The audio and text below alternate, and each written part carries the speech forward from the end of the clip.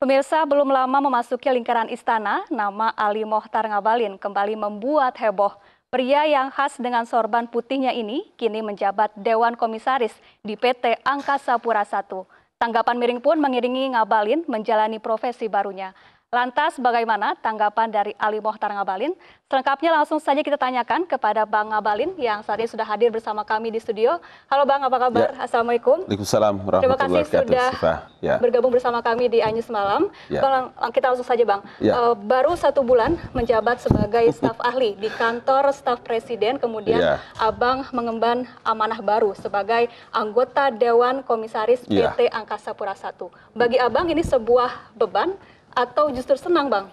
Ya ini uh, pertama saya menyampaikan terima kasih kepada iNews TV malam ya. Sama-sama bang. Bahwa uh, kalau tugas saya ini sekarang ini kan sebetulnya ini adalah amanah dari negara, hmm. amanah dari pemerintah, hmm. dari Ibu Rini, dari Bapak Presiden, bahwa tentu saya sebagai orang yang diamanahkan saya menganggap bahwa ini satu tugas yang mulia untuk saya harus jalani karena apa pun alasannya tentu uh, baik dari BUMN, Kementerian BUMN Ibu Rini dan seluruh staf di sana yang melihat ya mungkin saya memiliki kapasitas untuk yang cukup untuk bisa mengawas dan memberikan nasihat Baik. kepada teman-teman di uh, presidirsi itu. Baik, tentunya senang menjalani tugas mulia ini begitu ya Bang ya? Insya Allah. Baik. Insya Allah. Nah Bang Ambalin, beberapa saat lalu Anda baru saja mengumumkan untuk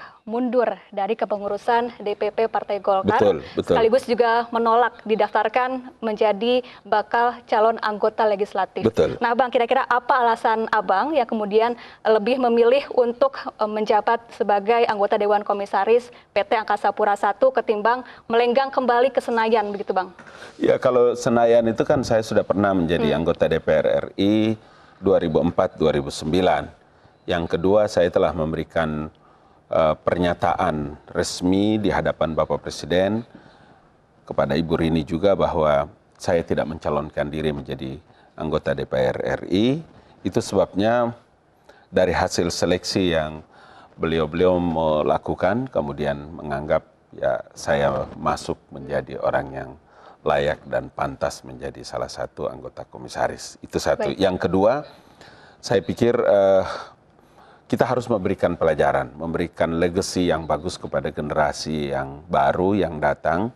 Mereka lebih energik untuk bisa menjalankan tugas sebagai perwakilan rakyat di parlemen. Hmm. Karena itulah saya menyatakan kepada ketua umum dan koordinator hmm. bidang pemenangan pemilu yang saya hormati ada kakak Melkias Mekeng hmm. bahwa dalam kapasitas sebagai ketua DPP Partai Golkar pemenangan wilayah Sulawesi Tengah Sulawesi Tenggara saya menyatakan untuk uh, mundur dan tidak bersedia untuk dicalonkan Baik.